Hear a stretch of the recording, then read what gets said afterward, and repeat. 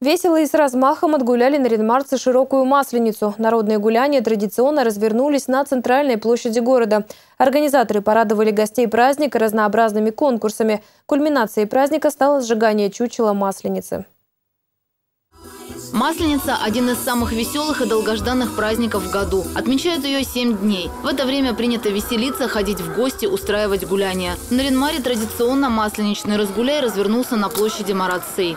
Каждый год мы увеличиваем количество игровых площадок, интерактивных площадок, чтобы людям было интереснее, веселее проводить этот день. Многие конкурсы имеют вековую историю, например, масленичный столб. В древние времена залезть на него обозначало пройти посвящение, обрести мужскую силу. Покорявший столб человек возрождался к новой жизни. Николай Ардеев, например, делает это во второй раз. 20 с лишним лет назад за ним залезал один раз, все. Сейчас попробовал снова. Условия конкурса простые, ограничений нет, желающих много, говорят организаторы. Вот только сноровки добраться до заветной ленточки хватает далеко не всем. Много было желающих, но не у всех получалось, но бывали крепкие ребята, которые моментально заползали и срывали. Впрочем, развлечений сегодня на площади предостаточно на любой вкус и возраст. Для тех, кто помладше, работает площадка с русскими народными забавами. А ребятки подходят. Мы, я набираю команды, это командная эстафета, и они играют.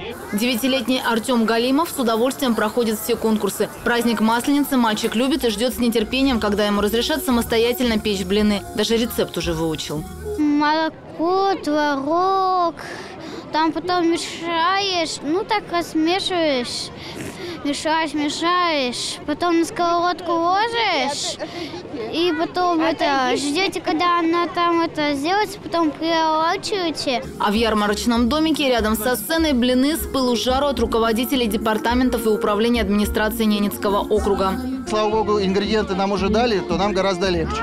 Поэтому, ну, любой процесс требует внимания и концентрации, поэтому есть сложности. А первый блин помнишь, получился? Э, нет, потому что у меня были хорошие помощники. Для многих гостей праздника получить блин из рук первых лиц округа – неожиданность. Не знаю даже. Ребенок вот просто захотел на улице горячих блинов, а, а не, не могу даже сказать, чей. Просто блинчик на улице. На улице, как правило, всегда вкуснее. Алексей Лапин тоже был приятно удивлен и сразу же решил попробовать кулинарное мастерство руководителей. Тем более сам он толк в блинах знает. Пробовали блины с капустой. Не то, что там начинка капуста, а то, что капусту отвариваешь, в тесто ложишь и запекаешь уже блины с капустой.